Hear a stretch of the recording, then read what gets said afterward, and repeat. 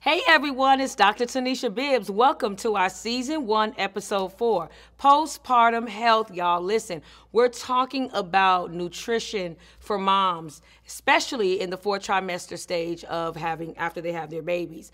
I'm going to be, um, I'm going to have my co host with me. And when I tell you guys, we're going to make an amazing dish. This is really simple and easy to actually make. And so we're going to show you how to make it hot and also cold. And I'm telling you guys, I just can't wait. Are y'all ready? Let's go.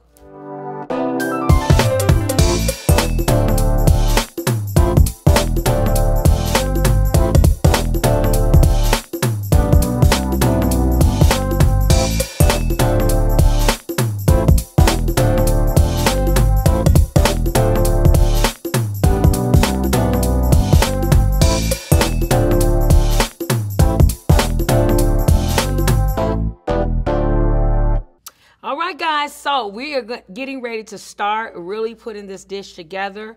But before I do that, let me introduce you all to my co host, Sasha. Come on through, Sasha. Come on through, Sasha. Sasha's going to help me cook this meal because. But um, Sasha's going to help me cook this meal because I believe one of the things that um, we deal with in the fourth, fourth trimester postpartum is uh, moms want to breastfeed, and a lot of times, um, you know, the the eating healthy is a really a bit of a challenge. It's a big challenge, Um, yeah. And I think I think when we as birth workers, you know what I mean, we have to introduce nutrition all the time to them. So, um, what are some of the things that you've actually seen? As far as Like eating, Yeah, eating. oatmeal is great. Yeah, oatmeal is excellent. Oatmeal is excellent. Oatmeal is another thing too is soups. I'm learning that because I mean, although we want to dabble, dibble dabble into postpartum like cookies and teas, I think that's great. But what I do believe is that when you start to put in healthy nutritions in your body, like your greens and your carrots and things like that, and garlic is also good as well. Um, it can also help with your milk production. Um, so today, what we're going to do is we're doing a uh, creamy chicken spinach soup, or you can also make it as like um some type of um, like a pasta dish. Um, what I want to also rem- let you all know that you want to be careful also with your pastas. You don't want to eat too much of it all the time. Your greens are actually good. You have your celery that's also good as well, and these are all of your um, yellow foods, which is your cheese and your parmesan and things like that. So this dish I wouldn't say do every day. I would say you could still incorporate it into your meal because you still need those hea- healthy carbohydrates. Okay. You know. good to me. So you want to help me make this dish? absolutely. All right, It so guys, amazing. Yes, yes. So what we did was we used um, chicken broth. You can also use the low sodium chicken broth. You can get that in any grocery store, or you can do uh, bone broth. Oh. And if you make your own bone broth, you can actually use that, which will add a little bit more flavors and things like that to it. And you can put them in the refrigerator or put them in the uh, freezer to freeze. Okay. And then when you're ready to make this dish, the um, broth actually gives it a lot of flavors as well. Okay. So we want to do that. So this is what we're gonna do. So what we did was we're gonna make this dough dish as a pasta dish. Okay. And if you want to make it as a soup dish, you want to use more bone broth or chicken low sodium. Why am I saying use low sodium? Because in postpartum, you want to be very careful how much salt intake that you do intake as a um, in your fourth trimester, especially for those of you who have dealt with preeclampsia. Be very very careful um, your you know what you're eating. Um, be very intentional, and I would use a journal. You know, I think a journal is really good. That's a good idea, Yeah, actually, really use a journal to kind of journal what you're eating to kind of know if there's going to be if, if you're having an effect or some type of allergic reactions or the, any type of anything you can kind of see the you know what you wrote down and you can kind of What pinpoint on what you've eaten so why don't you come on up a little bit and um so you she gonna be you gonna be my taste tester today? I am absolutely here for the tasting. Okay. so wh- what we have here, we do have a pound of chicken. This is you can get this definitely. You can do it. Um, from the grocery store, you can. They have these little chicken th- um, breast. You can actually use those pre-chicken The breasts, pre-cut ones. the pre-cut and pre-cooked. Yeah, the pre-cooked Okay. ones to make sure, but make sure they're not like. Um, make sure that they would. Make sure that it's not like um, has a lot of uh, salt, salt or seasonings yeah, and things like that. Just the okay. plain one is fine. Or you can just take a chicken and you can cut that chicken up, leftover chicken. You can just kind of cut it up. Shredded chicken is good as well. Uh, so that is actually good. Spinach is always going to add a greatness to the dish as well um, for the flavor. And if you like, if you like that, I'm a kale person. Okay. Um, but I would cook my kale first because you know kale can be tend to be a little hard. So that helps with that. And then we have the carrot.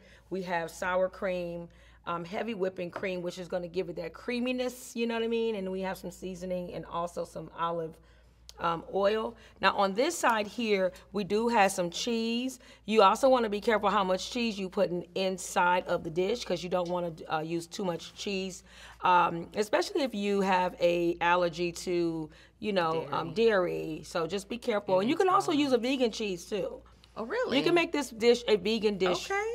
How you make it a de- vegan dish is your noodles. You can have your garbanzo bean noodles, Okay. which are made out of chickpeas. Yes. Versus yes, the yes. flour noodles and things like that. So you can use that. We have also onions. Onions always add flavor to a dish. You have your celery and you also have your garlic. Garlic is my favorite. It helps. Um, garlic is good, y'all. I mean, you can use garlic as a, uh, they use it as cough syrup. So you can take a garlic, you can crush it, put it on your uh, um, in your pot with some uh, coconut oil and crush it, and you let it get really black. You let it sit for a couple of days, and you can make cough syrup. My mom, my mom is from Jamaica, so she used to give it to us all the time, and so that's how we were able to stay like cold free. Like we didn't have colds when I was growing up. You are teaching because me my mom. something. That is yeah. amazing. So let's get started. I'm gonna have you with with the dish. Normally, you can all just kind of put this stuff in all in one. You can put it in a crock pot, easy, easy. Go do what you got to do and come back, or you can cook it on top of the stove. Um, so I decided to cook the noodles. So we cooked the noodles and we used a. Um, you can stir that noodle. Okay. And we definitely used a. Um, some broth. You can see the little broth in there. Yeah. Okay. Mm. Yeah. And so because this chicken is you, you don't want it- the chicken to be raw. This is cooked pretty pretty pre cooked. So you want to go ahead and put I'm gonna put the chicken. You wanna put the chicken in there? You can dump it in. Okay, we I'll can put the chicken in there. This is a pound of chicken. You want some chicken in there, okay, y'all? Can the whole family eat this? Cause this look like it's gonna be Yeah, the whole family. really great. Yes, it is. The fam- the whole family can actually eat it. Now, remember, I told you when you're making it, you can make it out, out of a soup. Mm-hmm. Um, if you do a soup, I would not do two cups of noodles. I would do one cup of noodle because you remember your noodles expand and it soaks up all of your liquid. So you want to make sure that you put. Um, I would just use one cup, but this is two cups, so we're gonna make some uh, make a more of a pasta dish. Okay. All right. You could spinach is also good, so we're gonna do some spinach. You want to go ahead and um, put that in. And if you want to make it a pasta dish, you can definitely take your carrots and you can kind of make sure your carrots are cooked a little bit. Um, where after you put all this in, you got the you know the noodles in. You want to also be careful. Like I said, you if you're gonna do a pasta dish, you wanna you don't want to be too much noodles or you know what I mean. Yeah. Or if you're gonna do a soup dish, um, you want it a little bit more soupy. And also you can use more chicken broth. So part of the reason why we have the olive oil is to cook down the celery, the onions, and the garlic because you want those to marinate really good together. And so, so far what we got here is the pasta, the um, spinach, and also the chicken breast. And you want to make sure that cooks down really well um, because, of course, you just want to make sure it cooked down. So the next step to do, of course, um, when you're cooking all of these, we definitely like to do these three here. We put, um, we make the olive oil, put some olive oil, um, some garlic, and also some celery. These this is what you want to cook on top of the stove and saute it just a little bit, not too much, but just enough to where you can still taste it in the in the meal. So what you're saying is, before we start all of this, we take these to ones saute and saute them, and then we put them all in there. Absolutely, because you what you're gonna do is when you put it on top of the stove, of course, if it's if it's not cooked and it's, everything is like raw, then you want to cook your meat at, at least. Okay. You don't want to put the raw meat with the pasta. Right. You see what I'm saying? 'cause so you want to exactly contamination. Exactly. Okay. And so um, Dr. Jacqueline Walters, a board certified OBGYN and the medical director for Surrogacy Miracles and Consulting. And I'm Shadina Blunt, the founder, co owner, and the executive director here at Surrogacy Miracles and Consulting. We welcome everyone, including the LGBTQ families. And we are here to assist you through this complex process and the journey. And together, we, we are, are Surrogacy, Surrogacy Miracles and, and Consulting. Consulting.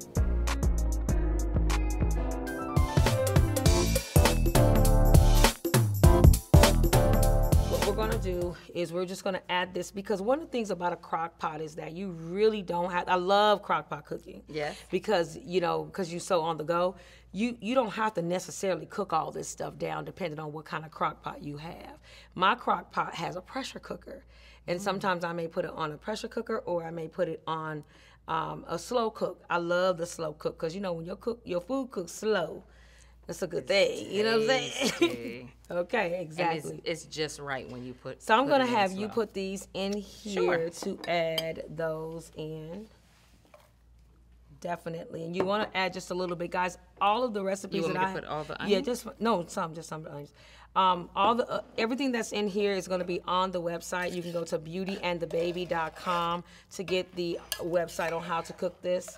Um, we're definitely going to put a little carrots in there. I love so carrots yummy. myself because carrots always add some type of flavor and just prettiness to the dish. And we're going to use a little bit of garlic here. Yeah. This is looking amazing. I'm going to stir it a little bit and I'm going to show you all. Yeah. This is so colorful. It looks amazing. Look at this. Mmm, and it smells wonderful. I look forward to digging in. so you also want to put sour cream. It's going to help to make it creamy, and it's going to help to give it that creamy uh, noodle that I was talking about. It's yes. going to help to give it that creaminess. So you just only want to put a little bit in there. So when you talk about, go ahead, you oh, can put ahead. it in. But so when you were talking about making it more like a vegan dish, you can do that. What would I put in the place of the cream? Um, well, with the vegan dish, uh, what I would do is, well, I don't know about the vegan. I'm gonna be honest with you. I'll say plant based okay. more so than anything else. Because okay. vegans, some vegans they eat um, they eat like what they do dairy. like eggs and dairy and, and stuff eggs, like that. Yeah. So I would say if you're going to do it all plant based, yeah. you're not going to be able to do the sour cream. You have to make your sour cream. Okay. So you you can make it with you could do like a, use garbanzo bean noodles. You could also make your sour cream using cashews. Mm, so right. yeah, yeah you can make it, yep you can use cashews. So there are variations. There are variations to this, and the sour cream is just going to give it that thickness that you're looking for. So I'm going to do all of this. It's coming together like real smooth too. Mm-hmm. Yes. Mm-hmm. Okay. Now, Sasha, what I want you to do is now you know seasoning is a girl's best friend. Okay. Okay. So um, I think this is a little parsley here, but we'll wait on the parsley. I would use some of the um, the seasoning here, the mixed seasoning. Be careful how much salt you use. So I, I use seasonings without salt in it, but it's still delicious and have a great flavor. So I would just pour a couple of those in there. Just a little bit. Mm-hmm. You tell me when. That's enough. Yeah. All right. And then let's go with the other. Let's just. So what you do is you're gonna mix. You're gonna taste, mix and taste, right? But we already. Oh, that looks amazing. Let me put this. It looks so good. Okay. So this is what we're doing, y'all. And it's colorful. Smell it. Oh, I can't wait to taste it. Look at my phone ready. Okay. Anyway, now at this point, this is when you put the main ingredient, which is the heavy cream. Now, y'all, I want y'all to understand something. They have heavy cream. They got heavy, heavy cream, whipping cream. I just use heavy cream in there, okay? You can use whatever you want, but I will use heavy cream. You have to show them this. Man, it smells good. It's so pretty too. I mean, like, I don't know. Food can be very pretty, yeah. and it can be attractive to the eye, and this is very attractive with all the different colors. Now, what I do is you can let this cook down, and then you can put your cheddar cheese in there, and you put your Parmesan. Parmesan is gonna give it the flavor. That's what's gonna give it that mm, cook that mm, okay. That's that Parmesan. So I'm gonna put the Parmesan in. Look at that. Okay, so you put. I'm gonna all, let you. Okay, I you do put, put, it all. You didn't put all the Parmesan. Okay. Yes. Now, how much of the cheddar would you put? Would you put all of it, being that you put the Parmesan yeah, as well? I would. You know, my kids really. I give it to my kids, even though we don't. You oh, know, is, even though it's a good postpark dish, I still give it to my kids. It smells amazing. Oh yeah, y'all. Promise y'all. And this is hearty. Like this is a lot of food, and you can Yeah. can you you, can do meal freeze it? You can, of course. Not? Absolutely. You know? Okay. But be Yes. careful too because you don't want to like, for instance, you can meal prep and I would vacuum seal it if I'm gonna freeze it. I would vacuum seal it. Okay. You know because you, you want it to keep it fresh still.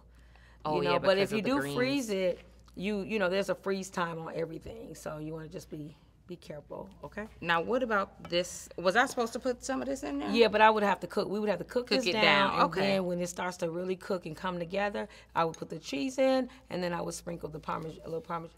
I would actually sprinkle the che- I would sprinkle the cheese in, and I would definitely make sure we do. Ooh, excuse me. Parmesan. So these are, would be more like the toppings after. Well, no, you could put a little little bit of parmesan in there because they ain't gonna do nothing but melt. So, and then you can leave a, the rest for the topping. Okay. To give you When some it's more of nice and hot. Yeah. Okay. One of the things about your food is you want to taste your food because I don't know nobody who cook who don't taste their food. You're gonna have to taste your food now and make sure that it's not overly. Yeah, overly break. Listen, guys, we're getting ready to go to a break, and when I tell you this meal is going to be ready for the tasting, okay? We'll come right back after this commercial break.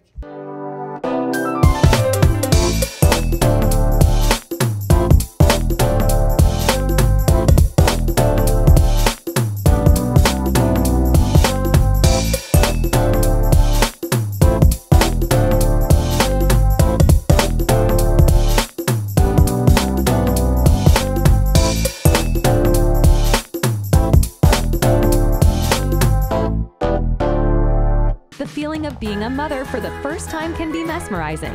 However, it also comes with a great deal of responsibility. Taking care of a newborn can be really exhausting during the initial months. So, how are you supposed to take on that role? Introducing Ask a Doula, a transition guide for new mothers. Ask a Doula is the new mommy's toolbox for birth preparation and postpartum care that will make you feel at ease, empowered, and supported in your journey as a mom to be. Order today from Amazon. Well, guys, we are back with the finished product. I mean, guys, listen, all of these ingredients marinated to a beautiful finish. Make sure that you're putting it um, on the stove, and if you if you're just not a stove person, it's okay to use a crock pot. It's okay. So I want my guest, well, my co-host, to let me know what she think. So All let's go ahead and put. Um, what I will do is I will put some parmesan, a little parsley to it, and then go from there.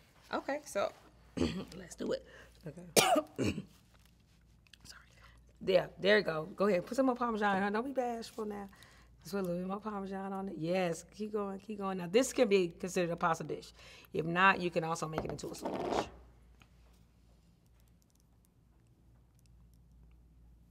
Oh, well, there we go. All right. They get some of the chicken. Oh. See what you say.